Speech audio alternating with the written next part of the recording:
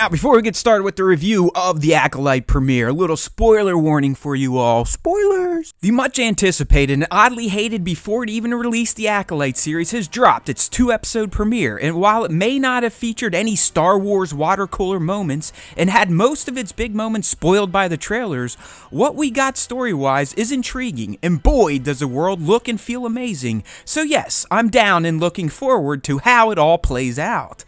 Let's start there with the visual design because the Acolyte looks absolutely lived in Star Wars.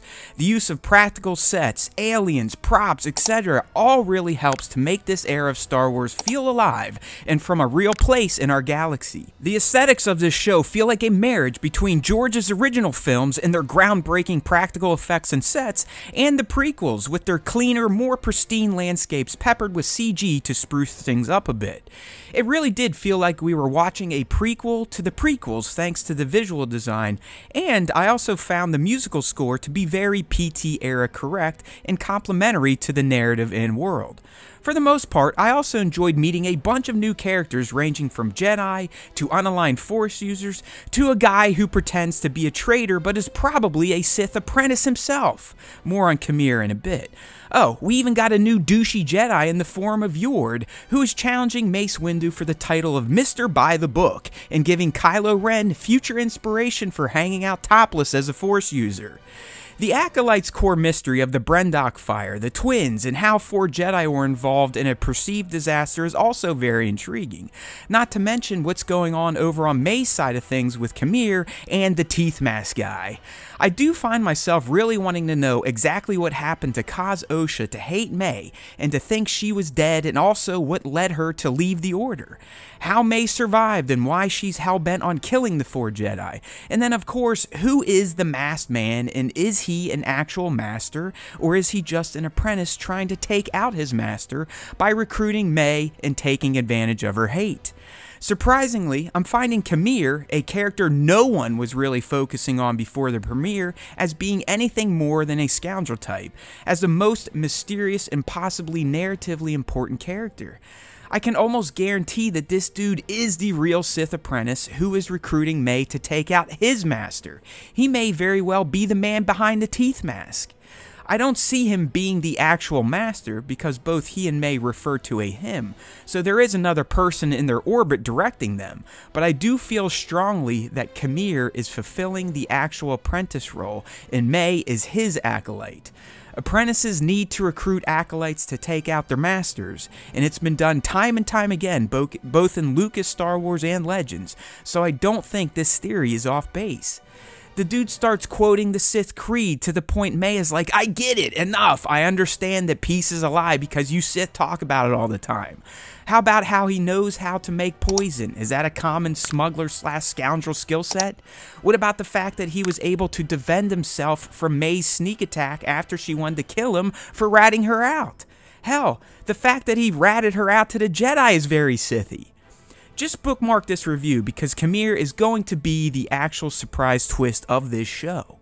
In terms of what didn't work for me in this pre premiere, I will say that I think Lucasfilm did an absolute disservice to these episodes by including nearly every single big moment and scene in the trailers leading up to its debut. There was nothing left to surprise because all the major beats were covered in the trailers. We just got to see more of the nuanced scenes, but the big action beats and reveals were already revealed. Don't even get me started on the twin stuff. I'm not even sure why they even tried to pretend that we didn't know that from trailers and posters. So it's good that the twist, in quotes, is out of the way, but it seemed like they wanted to suck the air out of that reveal before the show even released, which is odd. At times, some of the line delivery was also very prequel-esque and, and, and seemed like George himself was directing, but mostly the performances were pretty solid. The Acolyte definitely didn't blow me away or make me feel like I was watching something new being done in the Star Wars universe, but I did enjoy it, and I'm very eager to see where the mystery takes us. I do think if the final narrative reveal hits, people will ultimately fall in love with this show and its characters, but if the final reveal is easily guessable or overly weak, the Acolyte will be DOA. Top moments time. Even though it's been shown a zillion times, finally seeing the Indara V Mae duel in full was a treat. It sucks that Carrie Ann had to be the first Jedi to die, but damn did she look awesome and graceful doing it. I found the whole fight to be a ballet of sorts, and I appreciated how the moves were focused on how each character would act in the situation.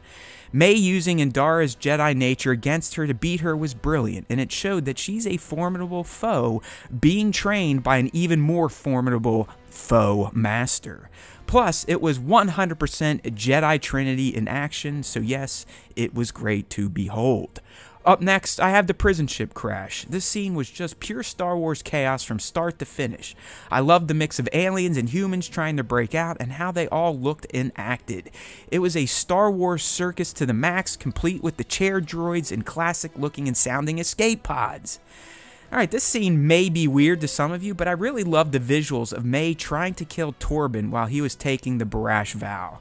It's not really something we've seen before in live action Star Wars, and it showed how powerful a Jedi can be when he is one with the Force and fully communing with it. Droidekas don't have Jack on Torbin's shield, that's for sure. And finally, this last one is simply seven words Wookiee using the Force in live action. Enough said. And for our eggs and references, how about getting some sort of an opening crawl complete with a downward camera pan? Neimoidians, and they sound less like people doing racist Asian accents. Tassie Loa here is a Zygerrian, making her first appearance in live action. This species was made infamous in the Clone Wars for being slavers. Classic looking escape pods and sounds took me right back to the Tantive 4. Carlac was the only not new planet featured outside of Coruscant in the Acolyte premiere. This snow world first appeared in the Clone, War, Clone Wars A Friend in Need episode. Pretty sure Osha has some form of force walkie-talkie like Kylo and Rey, and while Mae doesn't seem able to reciprocate, their twin bond sounds and feels very dyad-like, although possibly a perverted version of it. Torbin took the Barash vow, named after Jedi Master Barash Silvain from the High Republic era. Qimir, our Sith apprentice, wink wink, mentioned the Hutts, and finally, Yor dropped the iconic I have a bad feeling about this Star Wars line. Hey, make sure to tune into our live stream this week for our deep dive into these two episodes. Consider joining the channel, subbing, or liking this video. There's always time for Star Wars time, and if you listen to the Star Wars Time show, the Force will be with you always.